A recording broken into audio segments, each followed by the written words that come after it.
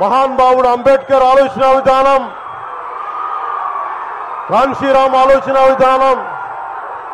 పూలే ఆలోచన విధానం. నారాయణ్ గురు ఆలోచన విధానం. పెరియార్ ఆలోచన విధానం. ఇవన్నీ ముందుకు తీసుకెళ్ళాలి అంటే చాలా బాధ్యతతో కూడిన రాజకీయం చేయాలి. లెనిన్ చెప్పినట్టుగా విప్లవం ఒకరోజు రాదు. మార్పుకి పరిస్థితులు ఏర్పడినప్పుడు ఆ రాజకీయ వ్యవస్థ కానీ ఆ రాజకీయ నాయకులు కానీ విప్లవానికి ఎలా తీసుకొస్తారంటే బయటికి ఒక మంత్రస్థాని బిడ్డను ఎలా బయటికి తీసుకొస్తుందో మార్పును కూడా విప్లవాన్ని కూడా అలాగే తీసుకొస్తుంది.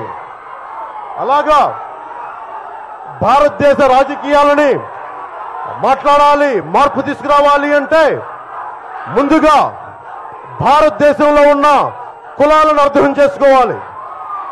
నాకు వాస్తవానికి నా జీవితంలో కులం లేదు మతం లేదు ప్రాంతం లేదు. నేను మానవత్వాన్ని జాతీయతని గౌరవిస్తాను. కానీ ప్రత్యక్ష రాజకీయాల్లోకి వచ్చినప్పుడు కులాలని ఖచ్చితంగా అర్థం చేసుకోవాలి. అది ఒక సామాజిక సత్యం. ఆ సామాజిక సత్యాన్ని అర్థం చేసుకోకుండా భారతదేశ రాజకీయాలని తెలంగాణ రాష్ట్ర రాజకీయాలని ఆంధ్రప్రదేశ్ రాజకీయాలని తెలుగు రాష్ట్రాల రాజకీయాలని ముందుకు తీసుకెళ్ళలేము